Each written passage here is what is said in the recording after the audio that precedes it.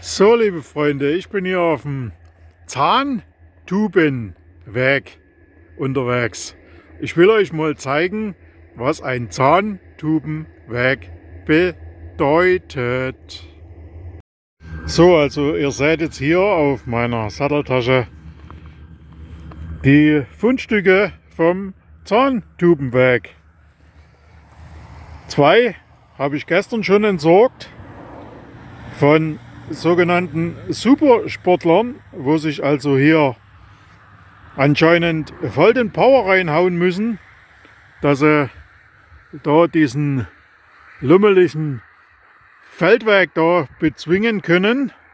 Und wenn man es leer gesoffen hat, dann kann man sich diese kleine Packung nicht wieder in der Hosensack stecken, sondern man muss er einfach auf der Weg schmeißen.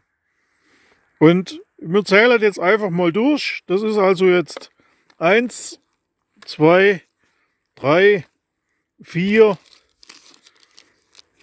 Das ist Papier, wir 5, 6, 7, 8, 9, 10 und 11 und 12 habe ich gestern schon entsorgt.